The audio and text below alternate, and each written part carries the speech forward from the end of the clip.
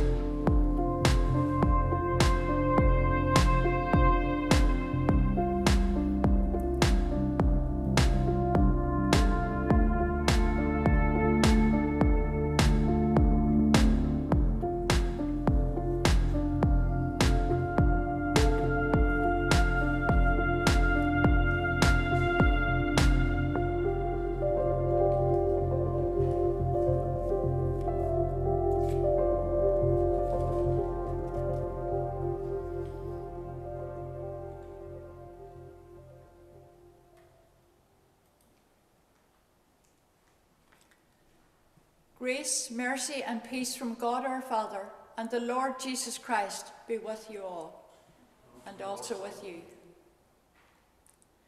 Faithful One, whose word is life, come with saving power to free our praise, inspire our prayer, and shape our lives for the kingdom of your Son, Jesus Christ our Lord. Amen. We have come together in Christ to offer our praise and thanksgiving, to hear and receive God's holy word, to seek the forgiveness of all our sins, and to pray for the needs of the world, that by the power of the Holy Spirit we may give ourselves to the service of God. O Lord, open our lips, and our mouth will proclaim your praise. Let us worship the Lord, all praise to his name. We just come now as we acknowledge our sins before God and ask His forgiveness. If we say we have no sin, we deceive ourselves, and the truth is not in us. If we confess our sins, God is faithful and just and will forgive our sins and cleanse us from all unrighteousness. We say together, O God, our loving Father in heaven, we confess that we have sinned against you. We have broken your commandments. We have often been selfish, and we have not loved you as we should. For these and all our sins, forgive us, we pray, through, Jesus, through our Lord and Saviour, Jesus Christ. Amen. May the God of love bring us back to himself, forgive us our sins, and assures of his eternal love in Jesus Christ our Lord. Amen. The psalm appointed for today, the 12th Sunday after Trinity, is Psalm 34, reading verses 15 to 22. I sought the Lord, and he answered me, and delivered me out of all my terror. The eyes of the Lord are upon the righteous, and his ears are open to their cry. The face of the Lord is against those who do evil, to root out the remembrance of them from the earth. The righteous cry, and the Lord hears them, and delivers them from all their troubles. The Lord is near to the brokenhearted, and will save those whose spirits are crushed. Many are the troubles of the righteous, but the Lord will deliver them out of them all. He will keep safe all their bones, not one of them shall be broken. Evil shall slay the wicked, and those who hate, the right, who hate righteousness be punished. The Lord ransoms the life of his servants, and none will perish who trust in him. I sought the Lord, and he answered me and delivered me out of all my terror. The Collect for the 12th Sunday after Trinity. Almighty and everlasting God, you are always more ready to hear than we to pray, and to give more than either we desire or deserve. Pour down upon us the abundance of your mercy forgiving us those things of which our conscience is afraid, and giving us those good things which we are not worthy to ask, but through the merits and meditation of Jesus Christ, your Son, our Lord, who is alive and reigns with you in the unity of the Holy Spirit, one God, now and forever. Amen. Now, our first hymn is In Christ Alone My Hope is Found. Let us stand and worship the God in the silence of our hearts because we're not allowed to sing, as you know.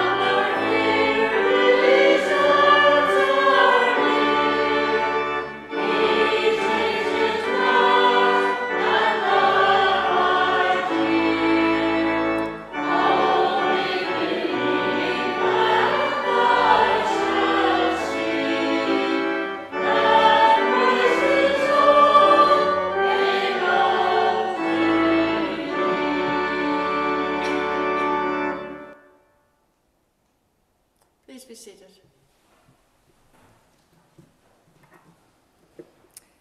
We come now to prepare our hearts to hear the word of God. Your word is a lantern to my feet and a light upon our path. O Lord, your word is everlasting. It stands firm forever in the heavens. Let us then receive the word of the Lord. So may the light of your presence shine in our hearts. Our first reading is taken from the letter to Ephesians, which John will kindly read for us now. Thank you, John.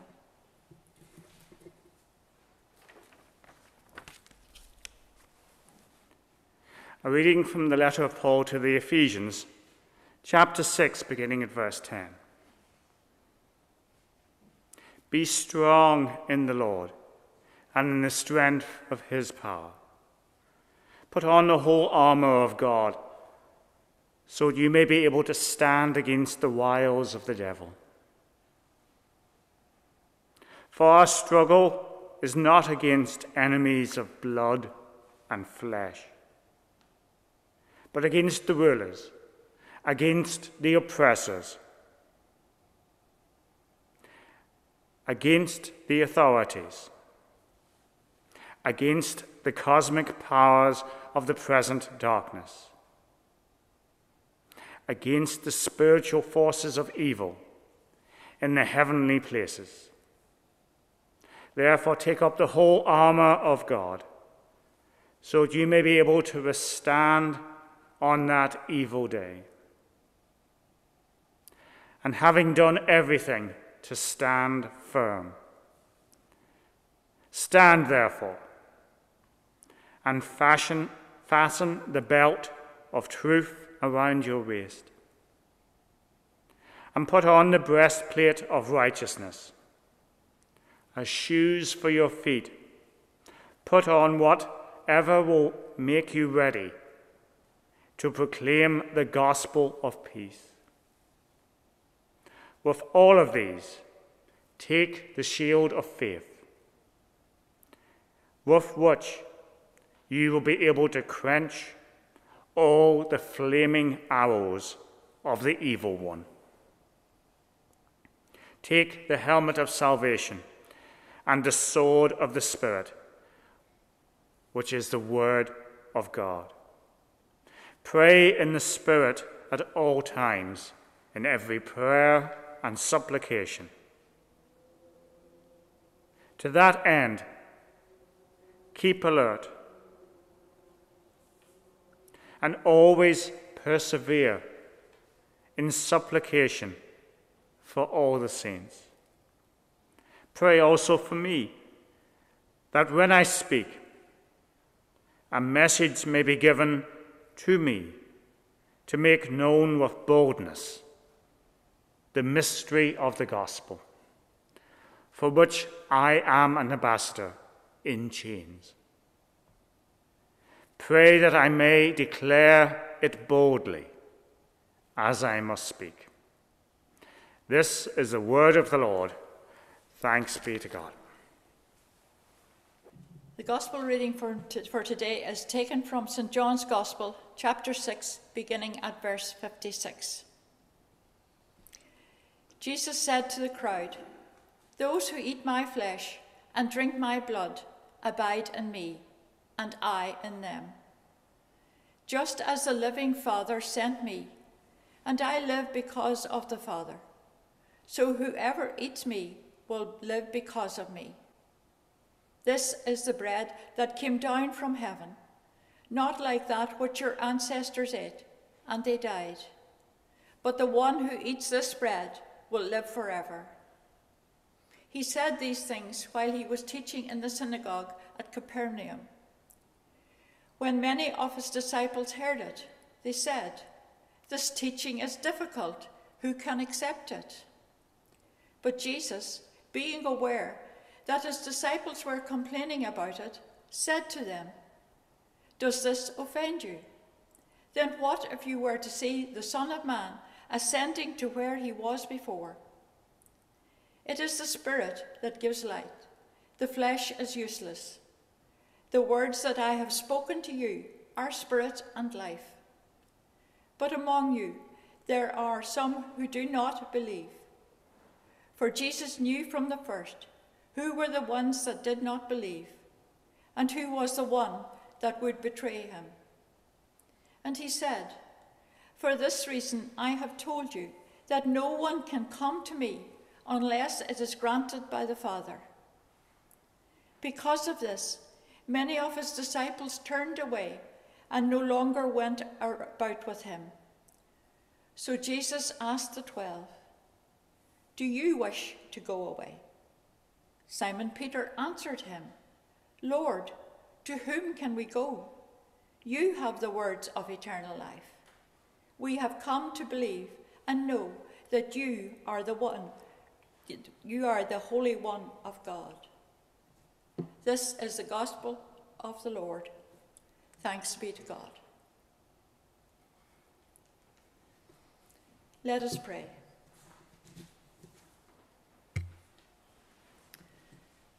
God of all wisdom and understanding, send us your Holy Spirit to prepare our hearts and minds to hear your word. By speaking through the scriptures, help us to understand the way we should live. May your wisdom open our hearts and minds to understand the spiritual war we face and the means with which you have provided for our defence. Amen. Today, John read the final reading in the lectionary series from St. Paul's letter to the Ephesians. In this passage from chapter 6, we find Paul's final instructions to the believers in Ephesus. He warns them, as followers of Christ, to be, to be spiritually strong, as they will constantly face spiritual warfare, battling not so much against human enemies but against a more powerful enemy, the devil and all his evil forces. Since the beginning of time, and until Christ comes again, the devil will use all means and opportunities available to him to outsmart God's plan for his people. He appears in Scripture as the enemy who opposes God's people from Genesis right through to Revelations. By nature, he is cunning powerful and evil, a spiritual enemy with an agenda to bring destruction that leads to the downfall of Christians. In 1 Peter 5, uh, chapter 5, verse 8, we read, Be alert of so, and be of sober mind. Your enemy, the devil, prowls around like a roaring lion, looking for someone to devour. It is vital we recognize that Satan is relentless and wants to destroy us. The Bible makes it clear as Christians, having put our faith in Jesus, our place in eternity with our Heavenly Father is secure.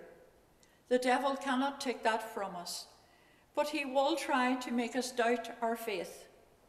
He uses fear to make us question our security in Christ and his lies to distort our understanding of God's goodness, which leaves us weak and ineffective followers.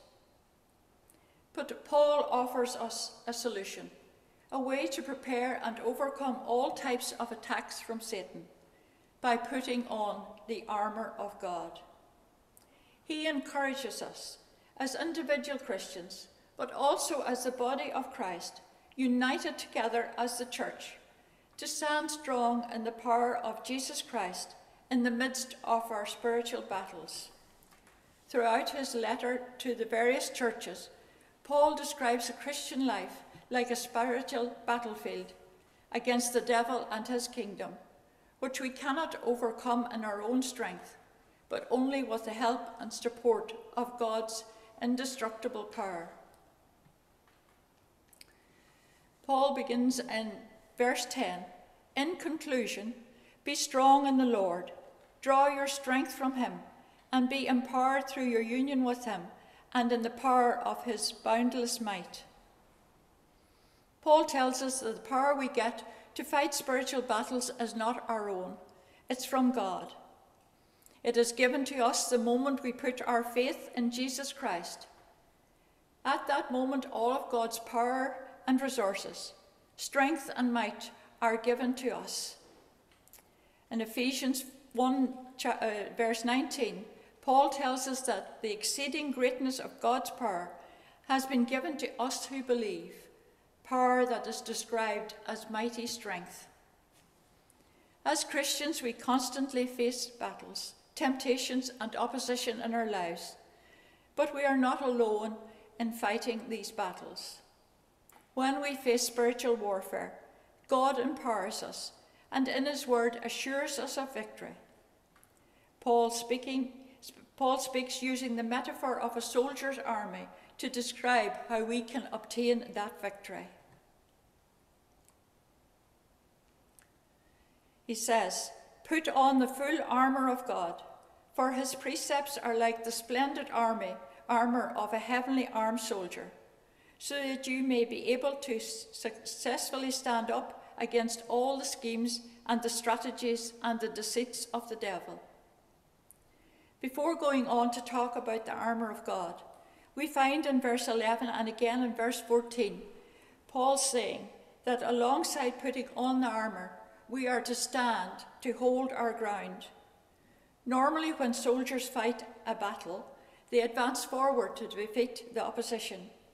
So, why does Paul tell us to stand when it comes to spiritual battle?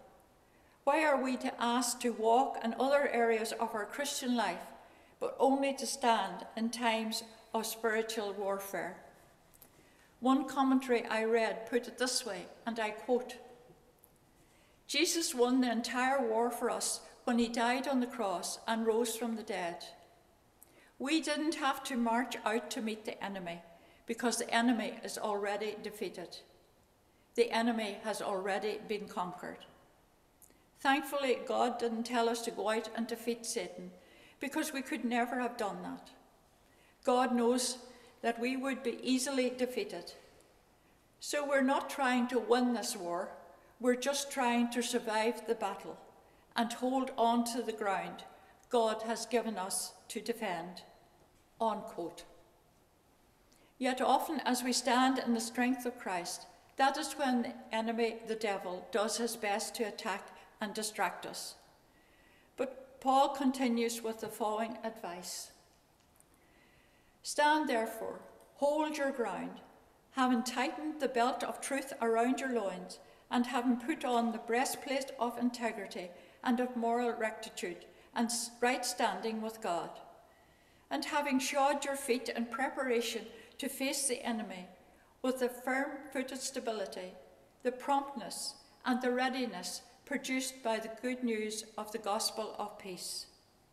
Lift up over all the covering shield of saving faith, upon which you can quench all the flaming missiles of the wicked one, and take the helmet of salvation and the sword that the Spirit yields. Paul wrote these words when he was imprisoned in Rome, and most likely was chained to a Roman soldier 24 hours a day. When he talks about the armour of God, and later on in greater detail, he had a first hand opportunity to study and understand the purpose of his guard's armour. But having armour is no use unless it is properly worn. If a Roman soldier were to leave behind his breastplate or his boots or his helmet or his shield, his enemies would immediately target the place where he had failed to protect himself. So, to be fully protected, he had to wear the complete armour. Similar to the Roman soldiers, the same goes for us. When applying God's armour, one or two pieces isn't enough. As Paul says in verse 13, we are to put on the whole armour of God. Partial armour would leave us dangerously vulnerable.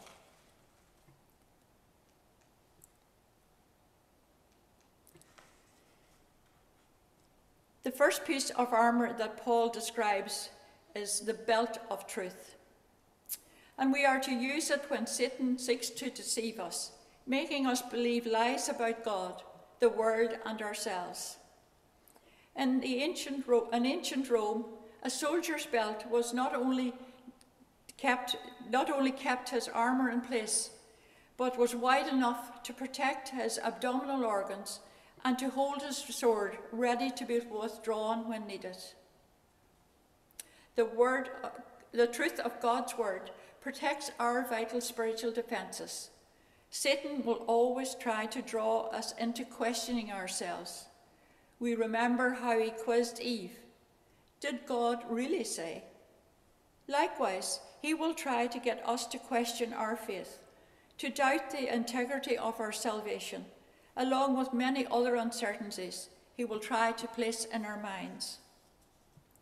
When confronted with doubts, Paul urges us to put on the belt of truth to secure our status as a child of God through renewing our minds and strengthening our faith by turning to God's Word. Through reading and studying the Bible, we are strengthened and empowered to overcome the devil's accusing questions. After we put on the belt of truth, Paul tells us to put on the breastplate of righteousness. As you will see, the breastplate was a piece of strong metal armour that protected the entire chest of a soldier and was designed to protect the most vital organ of his body, the heart. In the Bible, the heart is described as representing our minds, what we think, what we believe, how we act, who we are, all are determined in our hearts. Proverbs 23, verse 7 says, As a man thinks in his heart, so he is. So, how can we obtain the breastplate of righteousness? The Bible says in 2 Corinthians 5, verse 21, that through Christ we are given the righteousness of God in Christ. So, what does the righteousness in Christ mean, of God in Christ mean? One definition I read puts it this way, and I quote It is referring to a person that has been made righteous by trusting and believing that Jesus Christ sacrificed his life for their sins. The only way to get to heaven is to become righteous, and the only way to become righteous is by trusting Christ as our Saviour. Unquote. Satan will try to plant disbelief that causes us to question the reality of our faith. When we are engaged in this battle, putting on the breastplate of righteousness is like putting on a bulletproof vest so that we can resist the bullets of Satan's attack. When we strive to live out our lives as imitators of Christ, we become even more Christ like, and it draws us closer into the righteousness of God, thus avoiding Satan's onslaught. The next piece of armour that Paul advises us to wear are the shoes of the gospel of peace. The Roman military boot was a heavy sandal with a thick sole studded with hollow headed hobnails. These boots allowed the soldier to stand firmly in battle and to cross safely over every kind of rough terrain. They were one of the most important part of the Roman soldier's equipment. God calls us to walk carefully in a sinful world in which our feet are to lead us to share the gospel of Christ with others. Satan hates it when Christians speak to unbelievers about the gospel of salvation because it advances the kingdom of God and glorifies Christ. Instead of wearing the shoes of the gospel of peace, he would rather that Christians wear barefoot to keep them from venturing out into the world to share the good news of Christ. The Bible tells us the gospel is the power of God, the salvation of everyone who, who believes. This is completely contrary to Satan's thinking, and he will do everything in his power to hinder the word of God being shared. In Romans 1, verse 16, the Apostle Paul told us to be bold when sharing our faith. He said, For I am not ashamed of the gospel of Christ for it is the prayer of God unto salvation to every one that believes, to the Jew first, and also to the Greek. We move on to the fourth defence we have in our armoury the shield of faith. Roman shields were large enough to cover the soldier who carried it and almost one third of the person beside him. They were covered on the outside with leather, and when soaked in water, they extinguished the flaming arrows from the enemy. The devil constantly seeks to attack us by shooting arrows of doubt, temptation, and deception into our hearts and minds. The shield of faith is our confidence and trust in God's promises that acts as our extinguisher against Satan's powerful fiery arrows. The Roman soldier's helmet served to protect the head and to identify the wearer, which was largely the function of the crest. It was a vital piece of armour, as an attack to the head could result in instant death. When we are tempted to doubt our salvation or our worth in God's eyes, Paul calls us to put on the helmet of salvation to protect our minds so the devil is unable to plant evil thoughts in our brains that can harm our walk with God. When we realize we are eternally secure in the Saviour's love, we can enter the battle, confident of the outcome and the sure and certain knowledge of the salvation Christ gained for us through his death and resurrection. The sword of the Spirit, which is the word of God. The Roman soldier's sword was, sh was short and was used in quick stabbing action to defeat the enemy. The Bible is our sword for the fight against Satan. We remember when Jesus was tempted by Satan in the wilderness, he defeated him by quoting scripture. Paul says we're to wield the sword of the Spirit. Here he calls us to be ready to quote the promises of God has made in his word, to stand firmly against the devil when he comes knocking at the doors of our hearts. There is nothing that he can throw at us that cannot be overcome by the word of God. So it is vital, if we are to win the battle, that we are sufficiently familiar with the Bible.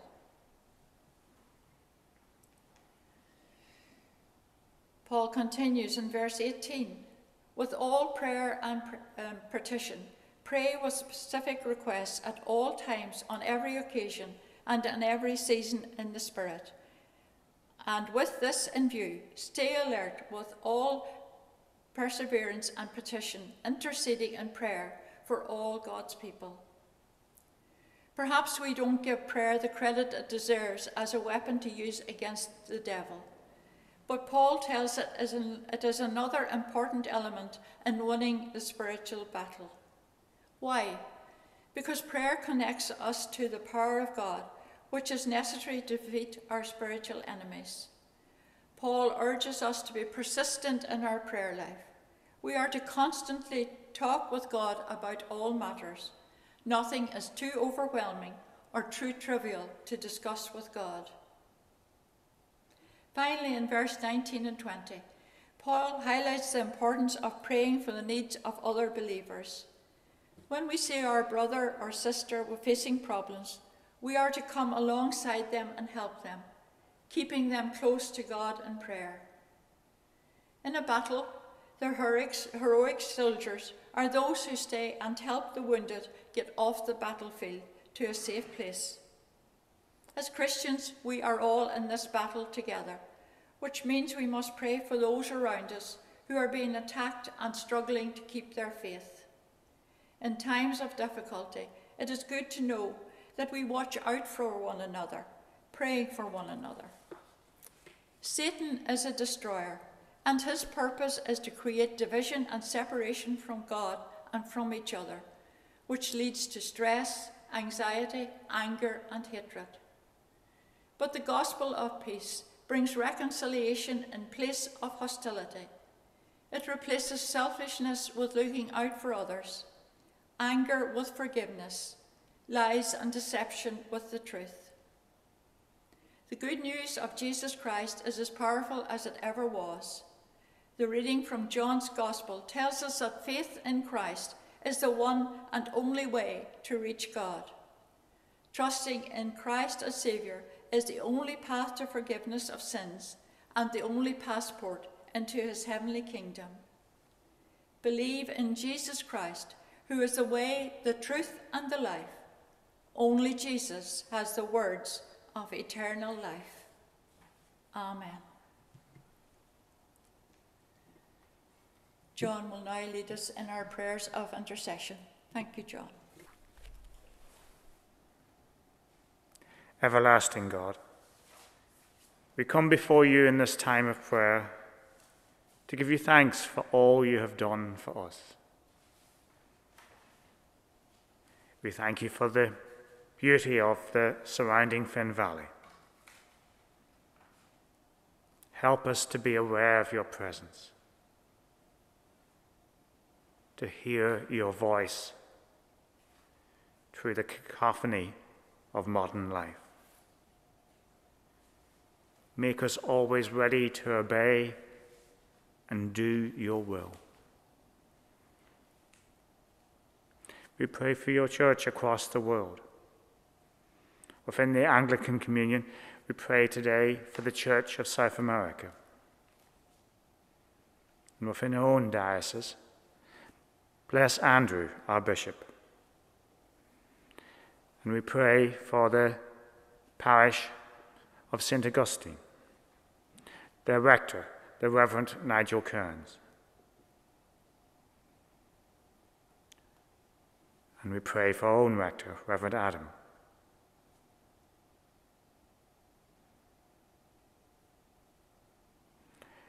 Bless all those who minister. Give them the strength of the whole armor of God. Lord, in your mercy, hear our prayer.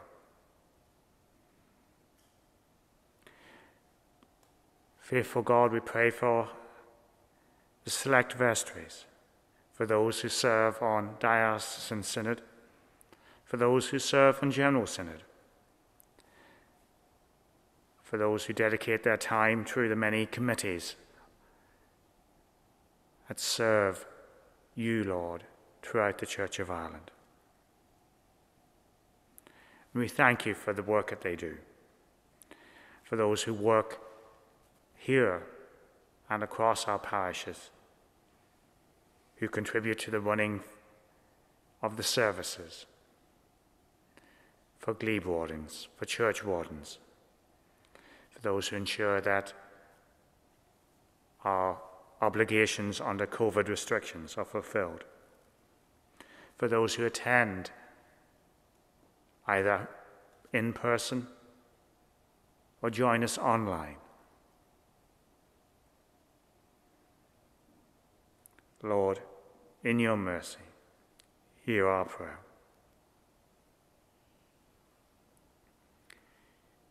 Creator God, the psalm reminds us that you will save those whose spirits are crushed. Help us to focus on those who have less than we have. For the refugee, for those living in lands where violence, war, oppression are ever present. We pray for the countries of Afghanistan, for those lands in the Middle East, for Yemen, for Ethiopia and South Sudan.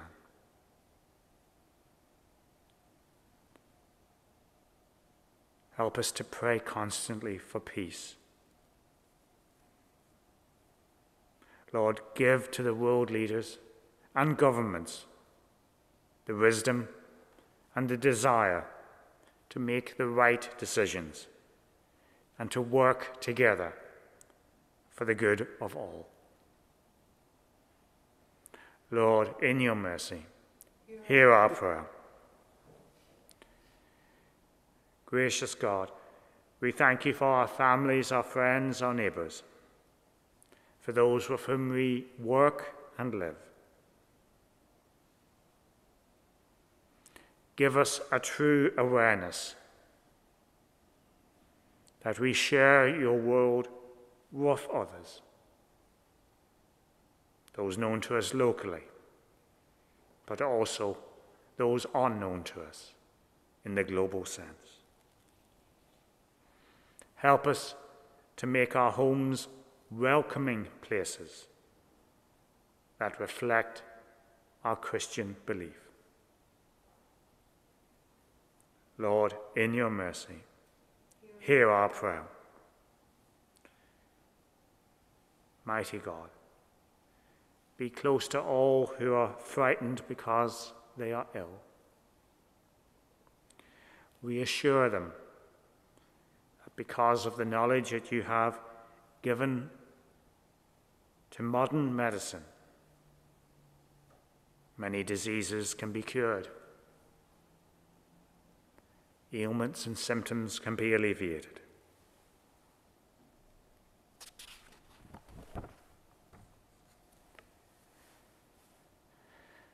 But we bring before you now, Lord, those who we know are ill. We pray for Isabel McCain, for Jim Riley, and in the quietness of our own hearts, we name those who we know need your healing touch.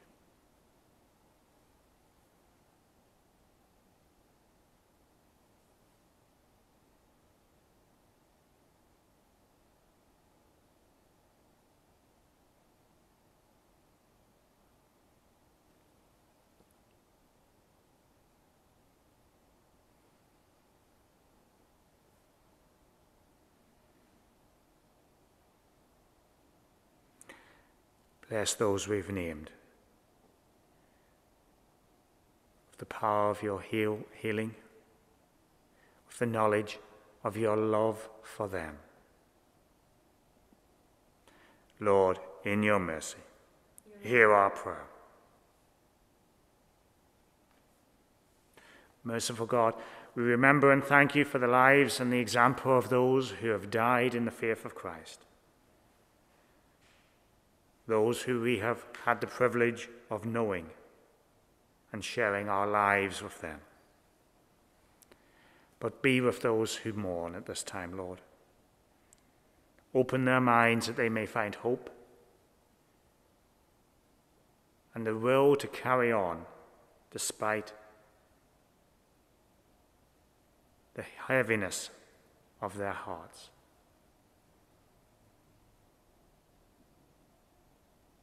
Lord, in your mercy, hear our prayer. Holy God, we thank you for helping us pray. Deepen our loving so as daily we pray through this coming week, we may do it with love and we may do it with sincerity in the sure and certain knowledge of your loving presence. Merciful Father, accept these our prayers for the sake of your Son, our Saviour, Jesus Christ. Amen. Thank you, John. We shall sum up our prayers by saying together, Our Father in heaven, hallowed be your name. Your kingdom come, your will be done on earth as it is in heaven. Give us today our daily bread. Forgive us our sins, as we forgive those who sin against us. Lead us not into temptation, but deliver us from evil. For the kingdom, the power, and the glory are yours, now and forever. Amen. Please stand as we affirm our faith together.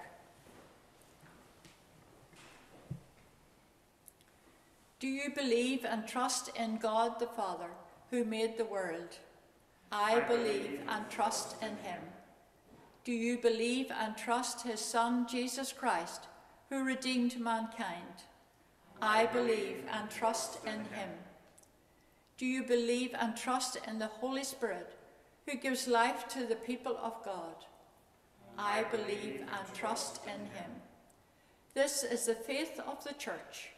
This is our faith. We believe in one God, Father, Son, and Holy Spirit. We come to our final hymn for today's service. O church, arise and put your armour on.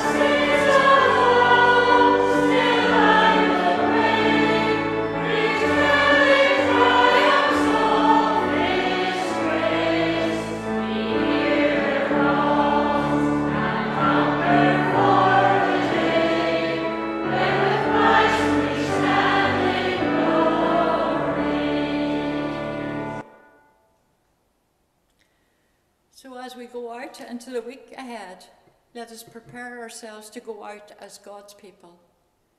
Let us say together, Be with us, Lord, as we go out into the world. May the lips that have sung your praise always speak the truth. The, the ears which have heard your word listen only to what is good. And may our lives as well as our worship be always pleasing in your sight for the glory of Jesus Christ our Lord. Amen. We go out into the world to walk in God's light, to rejoice in God's love, and to reflect God's glory. Let us say together, the grace of our Lord Jesus Christ, the love of God, and the fellowship of the Holy Spirit be with us all evermore. Amen. We go in peace to love and serve the Lord. In the name of Christ. Amen. Thank you for joining with me today, whether here in the church or online. Um, Take, stay safe, take care, and God bless until we meet again.